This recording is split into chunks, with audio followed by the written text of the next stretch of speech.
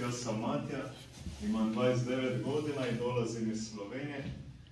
Sad sam sigurno, evo u 12. mjesecu, bit će tri godine da sam u zajednici, bio sam većinu vremena u Hrvatskoj, tako da ono, e, mogu reći da Hrvatska me došla baš do srce, tu sam doživio nešto novo u mom životu. I, ali od početka ja sam nekako htio doći u Međugorje, ali nije bio moment jer jednostavno trebao sam tu u Hrvatskoj nekako dobiti ono što, me je Bog želio dati. Inače dolazim iz, kako bi rekao, iz jedne brojne obitelji kršćanske i na početku želim zahvaliti Gospod Isusu za na daru svoga života jer uvijek sam se odlučio da ću u svjedočanstvima prvo zahvaliti to zbog toga jer jednostavno sam svjestan da prije zajednice nisam bio zahvalan na svome životu.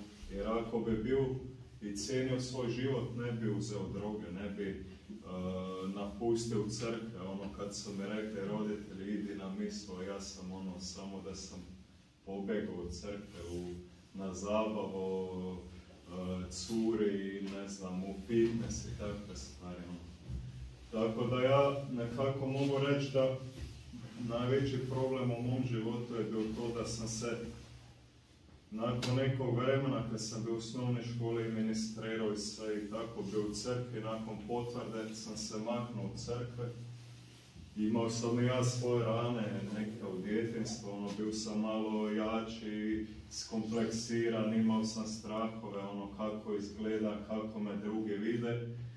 I upravo tako sam počeo, jer sam se makao u crkve, sam našao neko utjehu u žicima, u početku u sportu, kad sam počeo trenirati atletiku, ja se iz plesu dobio sam lijepo tijelo, dobio sam curo i mislio sam to je to sad.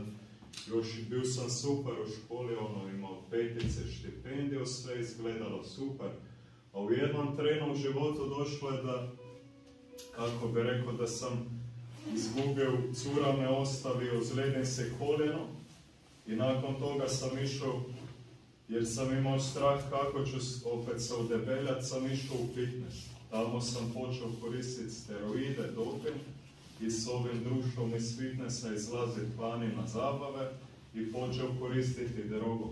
I tako nakon nekog vremena, evo do 25. godine, došlo je tako daleko da su mi moji roditelji zabave dođi sebi, prespavaj i pakiraj, ono, spakiraj kufere, ide čak. Ja se sjećam, ovaj tjedan baš je bio pakleni, ono, zatvorio sam se u sobu, ono, cijeli zbunjen od se droge i zabave, ne spavanja, pa, ono, tri dana koliko je bilo. I cijeli tjedan sam razmišljao o ovoj tamnoj sobi kako ću završiti svu tu patnju i to što sam osjećao prazninu, tugo, nisam htio više živjeti. Mislim da je bilo tako u kraju nedelja na večer, bio sam odlučan, ujutru idem ča, spakiram i idem do dilera, uzem toliko druge da umrem. I ono, bio sam ono baš dosta siguran u to. I nešto se mi desilo u ponedjeljak ujutro, ja se probudim, ni D u depresije i u tuge, nego baš ono, osjetio sam unutar sebe neko radost, vatro i glas pričao mi unutar mene Matija, ide u Čanakolo. Ja ovom trenu, ono, ja nisam u životu toliko osjetio radosti koliko u ovom trenutku. Baš to je moje osobno čudo. Jer još jedan dan nazad ja htio se ubiti, a sad želim živjeti. Trčam ja do majke, cijeli entuzijastičan i kažem, majko, daj, molim, pomozite mi da uđem u Čenakolo, želim živjeti. I evo, ja sam onda tako se počeo pripremati, išao sam na kolokve, išao sam isto na jedno hodočašće tu u Međugorje i bio spreman da odmah uđem, a tada mi je zajednica rekla da trebam prvo te pripremne kolokve napraviti, jer, jer sam iz Slovenije rekli su bolje je da ideš u Vrbovec tamo gdje isto nekako ga rekli centralna kuća u Hrvatskoj gdje se prima momke na kolokve. Tako da sam tada pošao u Vrbovec i onda sam ušao u zajednicu na Svetog Antona Padovanskoga 13.6.2019. Vjerujem da je bio i on moj zagovornik. To pričam zbog toga jer ono, znam da po Hrvatskoj se ga puno slavi e, i njemu sam zahvalan za zagovor. Evo. Uglavnom, onda kad sam ušao ja u zajednicu, tu mi odmah sam dobio anđela čuvara. To svaki od nas dobije kad uđe. Dobiš anđela čuvara koji ti pomogne napraviti prve korake, ne znam, da se upozna s pravilima u zajednici, da se naučiš moliti ono ispravno krunicu, jer molimo po tri, četiri krunice tako dan. Onda nisam prije vani prakticirao klanjanja ispred presvetog. Tu sam tek počeo i on me nekako tu sve uveo u te stvari. I bio mi je prijatelj, zamislite jedan čovjek, ja ga nisam nikad prije vidio i sad mu kažem sve stvari što nosim u sebi, su to težino, patno je bol ispred nepoznatog čovjeka, ali osjetio sam da mi želi dobro. Vidio sam da je on napravio prve korake u zajednice i da sad želi meni pomoć to i sam ono video da je to, ne znam, da mi ga je Bog poklonio njega u mom životu. Onda mogu reći da kako je tu, vidjeli ste, 2009. godine zajednica je postala, Vatikan je priznao kao dio crkve, dio Isusovog tijela i u našom dokumentu piše da smo mi zajednica koja žive evanđelje, ne komuna, nego molitvena zajednica koja žive evanđelje. Jer je, to tako, Isus je centar i sve to imamo u svakoj našoj kući. I ja sam počeo hodati svake dan na klanene, ujutro prije buđene, u pola šest, išao sam i dan danas. I šta se me desilo nakon nekog vremena, kaže Elvira, da se počneš menjati. Meni se je desilo jer Isus je istina, da mi Isus pokazao ono, sve moje jade, boli, rane, ono mi je kristalizirao. I u početku mene je bilo to jako teško.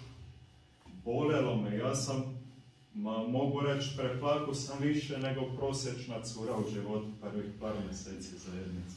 Ali, pomoglo me, ono, to je bio velik dar za mene da se mogu upoznat, ali Isus je polako iscelio te rane moje. I dogodio se mi s pet mjeseci zajednice jedan pad, mentalni i tako, opet je došlo zlo i htilo me povući vani. Jednostavno dobio sam obavezu doručak, to znači isto se prije budiš svi, sad vremena prije negdje u pet, skuhaš kavu, mlijeko i ne znam, kruh narežeš, marmelado pripremiš i tako. Ja sam tada na skrivečki počeo pit više kave, da me niko ne vidio. Htio sam se opet osjetiti da me nešto digne umjetno. Opet zlo me htilo tu povući. Jer sam još kompleksiran u fitnessu i sve te stvari, Radio sam sklekove tako, skrivečki isto, da me niko ne vidi. Htio sam se osjetiti opet nešto na krivi način, uglavnom. Ali šta se mi je desilo? Bilo je, baš se sjećam, ko da mi jedan zli anđel na ramenu priča, Matija, briga tebe, to nije za tebe, idi vani, uživaj mlaci, 25 godina, drogiraj se, briga te za zajednicu, idi van. On vrište na mene, ono, jedva sam čuo ovoga dobrog anđela na drugom ramenu, kad mi priča Matija, daj molim te, prijedeš vani, popričaj s jednim svećenikom, barem ono, da nešto napraviš prije izletiš, nešto da malo vidiš. Ja sam u ovom momentu, jako sam i on dero ovaj, ja sam slušao ovoga dobroga, išao sam popričati svećenikom i rekao sam mu, svećeniku, jer opet me zlo napalo, sam rekao, ne želim se ispovedati, samo malo popričati. Ono. Jer znao sam ako ću ispovedati, da možda ću onda se priznati što sam napravio. Ali u kraju Duh Sveti pomogu Gospa, ja sam se ispovedao i pred cijelo zajednicom priznao šta sam napravio i nakon toga doživio sam osobni uskrs, jer ja sam se baš tada odlučio u svom životu za istinu. baš rekao sam istino kako je, pao sam i to je to. I dali su mi jednog momka par dana i pomogu me da sam malo pričao, bilo mi još teško, sram sam osjetio, ali nakon toga mene se sve promijenilo. Ono. Ja danas vidim šta mogu usporediti s evanđeljem. Isus je išao na Kalvariju, on je isto tako tri puta pao pod križem, a ja sam deset tisuć puta pao i još padam. Ali isto je me ona jedan padao kad se svi sjetimo svetog ovoga Šimona Sirenca, on mu je pomogu da je nosio svoj križ. Danas je to Patrik, bio je to moj anđel čuvar, to su momci s kima ja živim danas. I u kraju isto gospod cijeli križni put, ona ga je do smrti ono pratila. I u kraju isto tako, u grob su ga položili, u kraju su došli u jedno, dvorano sa apostolima. Isus je uskrsno, u kraju su čekali zajedno sa apostolima i duha svetoga da uđe u to uh, gornji, uh, kako se kaže, binkošna dvorana. I ta binkošna dvorana u biti kaže se i čenakolo na talijanski. Zbog ovoga se naša zajednica tako zove čenakolo. Zašto? Jer isto apostoli tada oni čekali su, ali bili su puni strah, tako ko ja, pun straha tuge. Ali kad Duh Sveti uđe u mene, u nas, mi gubimo svaki strah i puni smo nade. I mi, ja prvi vjerujem u skrsnoću. Još jedan dio svoje priče bi volio ispričati, gdje baš vidim da mi je dao Bog dar vjere. Prije tri, koliko, u šestom mjesecu desila se jedna obiteljska tragedija kod nas kući. I malo prije toga, negdje tri mjeseci prije toga, ja sam, kako bi rekao, usjetio na klanjanju, došla mi nakana da moram moliti da bilo što mi dođe teško u životu, da uvijek gledam glavom prema nebu sa očima i da ne gubim nade, da sačuvam vjeru. I ja to molim ovo tri mjeseca do te tragedije. Dođe mi ovaj dan otac na iskustvo. Znači, nakon skoro tri godine došao mi otac i na večer zove u Slovenije da si moj brat uzeo život. Moj brat je imao isto problem sa ovisnošću i da on nažalost nije izdržao ovoga puta u zajednici, bio je 40 dana, ali želim reći da Bog me je zaista sačuvao veru. Ja sam išao za tri tjedne kući i ja sam znao da se trebam vratiti u zajednicu jer htio sam ono da još vera učvrste, ono, ni malo se meni poljuljala vera. Usjetio sam da moram biti blizu obitelji i tada sam čeki dobio hrabrost da posvjedočimo svoju vlastitoj župi, svoju svjedočanstvo i priču. I onda jedna žena me isto nakon nekog svjedočanstva tamo u Sloveniji pitala, a šta sad kad vaše molitve nisu bile uslišane kad je brat umro? Ja sam rekao, pa kako znate da nisu bile uslišane molitve? Pa baš ja vjerujem da je e, Bog sačuo brata da se nešto gore ni desilo. Ja vjerujem da je bilo to da spasenje njegove duše najbolje kako je bilo moguće. Možda bi bilo još puno gore. I vjerujem da, da ne mogu vjeru danas shvatiti sa osjećajem i razumom, da to nije vjera pravo. Da osjećaj su dar Boži, ali da ja moram nekako samo vjerovati, da je vjera više od svega što osjećam. I ja sam se preko toga iskustva u zajednice naučio da ja zbog osjećaja sam se drogirao u kraju. Htio sam se osjetiti dobro, htio sam se osjetiti prihvaćen, voljen, ali jedini koji me voli do kraja je Isus i Gospa koji me stalno prati koji I ja vjerujem ono da sam sad i nakon tri godine nešto imao sam želju doći u Međugorje, biti prebačen u ovu kuću. Evo, danas sam tu ispred vas jer je moment tako ono. I sretan sam da mogu posvjedočiti dio svoga života. Ja sam bio ukrao, ne znam, deset puta i više anđel čuva. I pomogu sam i ja drugima, ja sam bio ovaj Šimon Serenac. I ja vjerujem ono da sam mogu barem malo svoga uskrsnuća i nade trenet na vas danas. I, a želim i vama dobro i želim da se borimo jer život je lijep i jako je težak.